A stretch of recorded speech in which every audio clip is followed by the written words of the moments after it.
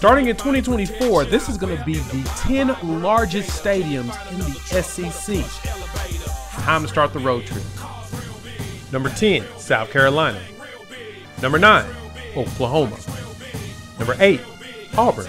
7, Florida. Number 6, Georgia.